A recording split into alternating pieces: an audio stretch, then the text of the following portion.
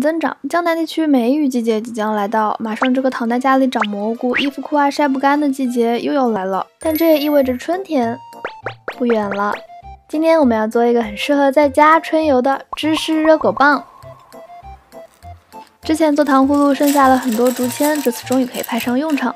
没有竹签的同学也可以用外卖店家总是多给你的一次性筷子替代，毕竟我经常一个人点两人份外卖。从书里取一块拉丝效果比较优秀的芝士，从别人又香又长的梦里取出香和肠，组装一下，变出好多小香肠。用自己喜欢的方式把它们切成小段，像我最近就很喜欢交响乐。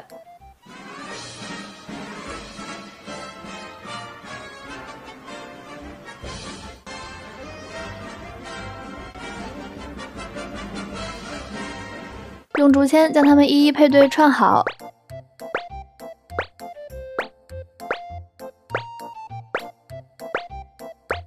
落单的芝士你可以选择吃掉，也可以帮它配对一个另一半，再把多出来的香肠吃掉。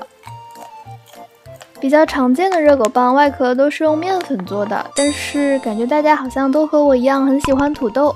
土豆爱好者扣一，弹幕集合。其实就是我懒得揉面。我做的分量比较多，所以准备了很多土豆。具体的克数我会放一个文字版在片尾。将蒸熟的土豆通通压碎。你们今年收到了多少压碎包呢？等到土豆快要碾成土豆泥的时候，加入盐和黑胡椒，再继续压一压。在这个过程中可以光明正大的偷吃，淡了加盐，咸了没救。碾成土豆泥之后，我们就可以给热狗棒裹上厚厚的防护服了。注意，一定要裹得严严实实，并且按扎实，不然芝士会漏。如果你的土豆太粘手，也可以在土豆泥里掺一点面粉、淀粉或者是糯米粉。没有的不可以用家里的螺蛳粉、酸辣粉，还有南昌米粉替代。把热狗棒裹得和自己一样白白胖胖的之后，就可以给它上一个叫做一键三连的服务：先裹淀粉，再均匀的沾上鸡蛋液，最后裹上面包糠。裹面包糠的过程觉得超级解压，这大概就是热量的魅力吧。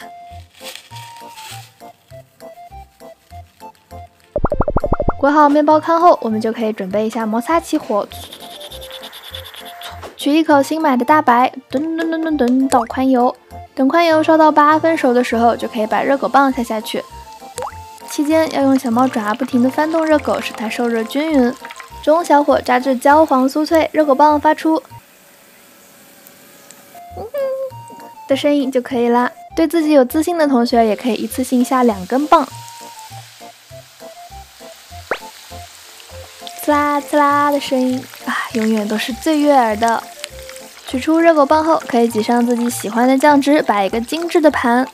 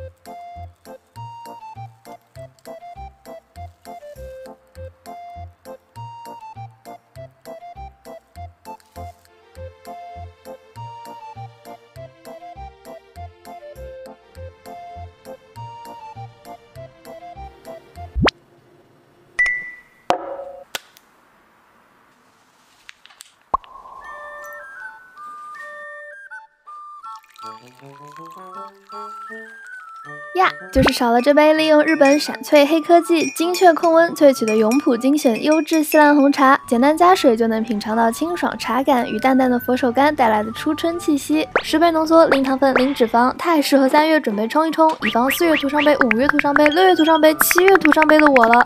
独立小包装，常温可以储存一年，外出携带也非常的方便。